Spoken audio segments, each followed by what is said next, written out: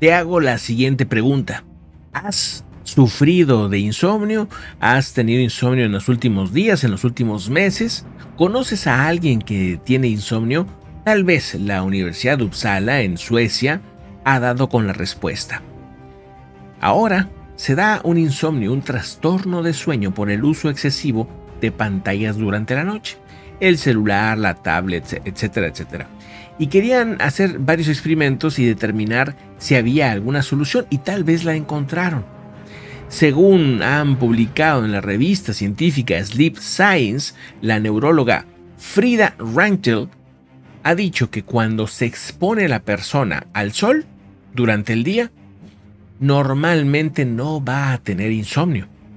O sea, que incluso a personas que ya tenían insomnio, les dieron las pantallas antes de dormir, dos horas durante, digamos, el momento que va a dormir, dos horas antes de dormir, estuvieron ahí en las pantallas, ¿no? Y luego se fueron inmediatamente a dormir y durmieron muy bien cuando fueron expuestas al sol durante un periodo corto en el día. O sea, que resulta, y eso pues habría que experimentarlo amigos, yo lo voy a probar y ya les comentaré pues mi resultado, es irte a exponer al sol en la mañana o en la tarde sobre todo, que son los mejores horarios para tomar el sol, y luego pues ver si resulta que puedes dormir mejor.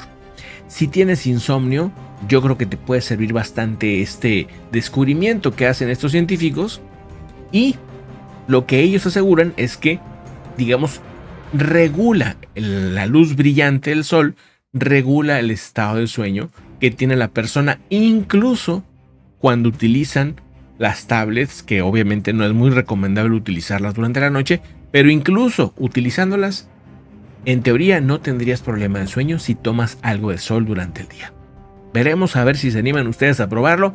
Muchísimas gracias por darle la manita para arriba, por compartir los videos y ojalá que esto sea una solución a el trastorno de sueño que tienen muchas personas, que es algo que obviamente nos debemos tomar muy en serio y si tienes un problema fuerte en ese tema, es mejor ir a consultar obviamente.